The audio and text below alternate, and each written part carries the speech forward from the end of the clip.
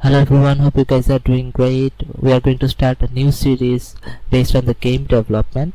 So I'm going to cover two basic game using HTML, CSS and JavaScript. So if you have the basic concept of HTML, CSS and vanilla JavaScript then you can uh, develop this game easily. So let me show you the game first.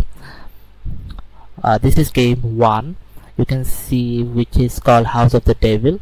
And we have five li lives here and the score is currently zero. So it's not showing the five lives but it will show. Uh, there is a bug actually.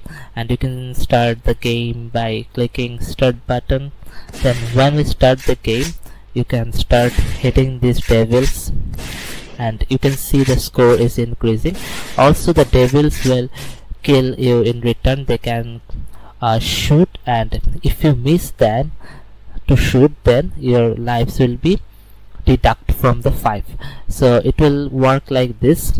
Uh, first you will get the 5 lives then they will shoot one shoot then then you can see it's deducting and finally zero and the game is over. So this is a basic uh, game which is developed using vanilla javascript and okay there are few errors here. Uh, doesn't matter actually. Then we have another game which is like this. You have to hunt some birds here. You can see that there is missed vari variable here and a score variable here. Both are zero. Click here to start. Then you have to shoot these birds. So I'm going to unmute this you can see. Oh oh. I just missed okay.